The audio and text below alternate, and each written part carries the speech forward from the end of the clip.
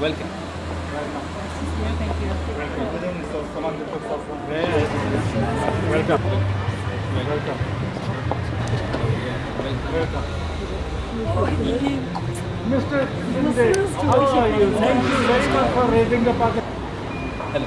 Welcome. Welcome.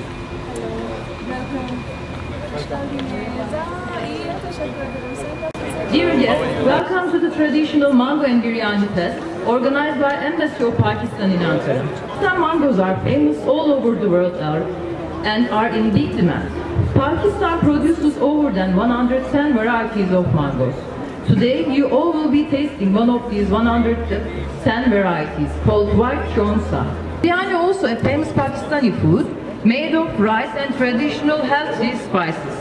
Biryani is made of from Pakistani basmati or sela rice.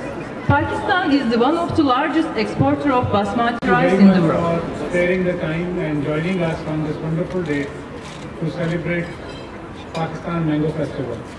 Pakistan is the fifth largest producer of mangoes in the world. It is the sixth largest exporter also. Pakistani mango is exported to more than 57 countries. There are over 110 high quality varieties of mangoes, one of which you are tasting today. Each variety comes in the market at a different time and the mango season lasts for about 4 months from May to September. Chonsa is the most popular variety and this is what you will be tasting this afternoon. Pakistan'a karşı duyulan ilgi bizim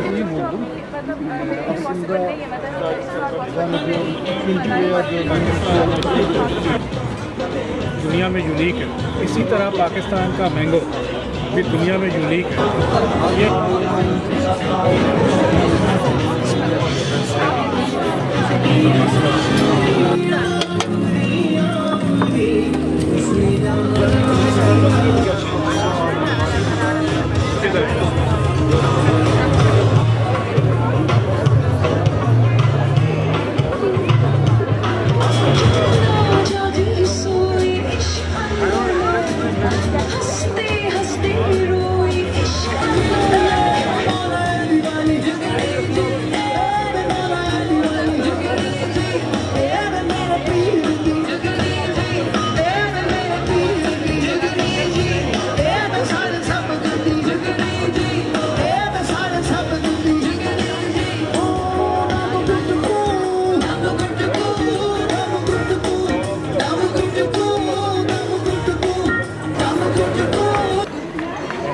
Thank you very much. Enjoy. Thank you.